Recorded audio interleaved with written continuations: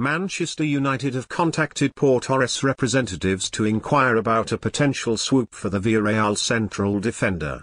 A partner for Harry Maguire is on the agenda for Ole Gunnar Solskjaer, although transfer fixer Ed Woodward's efforts are being focused on Borussia Dortmund winger Jadon Sancho. Victor Lindelof has been Maguire's regular sidekick for the majority of the campaign, with Eric Bailly also given chances to impress upon his return from a serious injury earlier in the year. But Solskjaer craves a left-footed defender to provide balance, which has seen a number of potential targets emerge on the radar.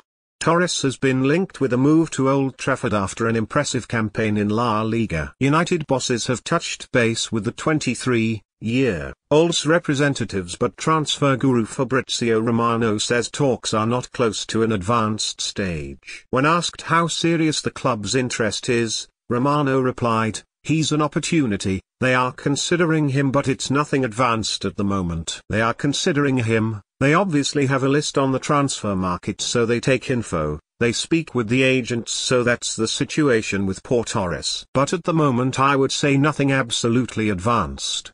Torres reportedly has a £45 million release clause but Romano claims the club are concentrating their efforts on landing top target Sancho. We have to wait a bit because when a top club goes on a top player as we are speaking about Jadon Sancho they focus like totally on this player and this deal, Romano told Tier 1 Transfer Podcast. Then they consider if they have backup options absolutely. Yes but in this moment Manchester United are still concentrating just on this deal so I think we have to wait a bit. Lille defender Gabriel Magalhaes has also been linked with a move to Old Trafford but Romano claims he is in the same boat as Torres. Romano added, many are speaking about him but I think they need to wait a bit.